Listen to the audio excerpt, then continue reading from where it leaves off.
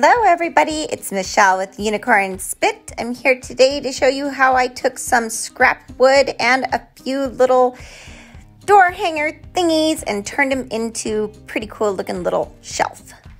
So what I did, I took um, a torch. It's a, a butane torch and I just scalded the wood grain on this piece of pine scrap find that pine works better than any of the other woods because it's so soft and whenever you scratch off the burn, it leaves you these really deep grooves and I think they're really pretty.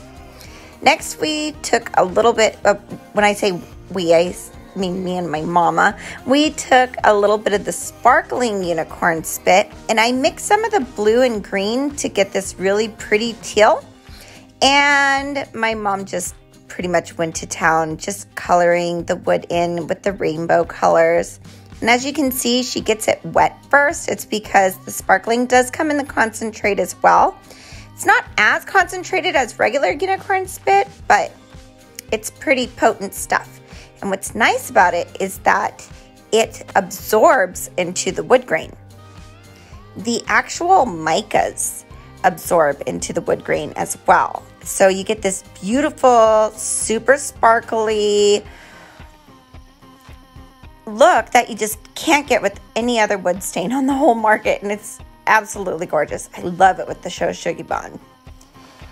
I took both pieces of the scrap wood and lined them up and pre-drilled some holes and put them together with some deck screws to make a little shelf.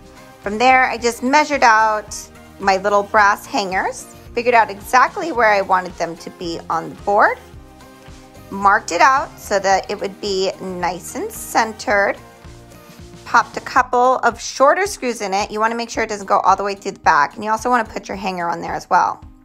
Then I used a little E6000 glue to really adhere those hangers on so that they wouldn't shift side to side. It worked great adhering that metal to the wood. Now our project's all done. I have it hung up on the wall and I know you're wondering, did she seal it? No, not everything needs to be sealed. If it's not going to be exposed to water or high moisture, you don't need to seal it.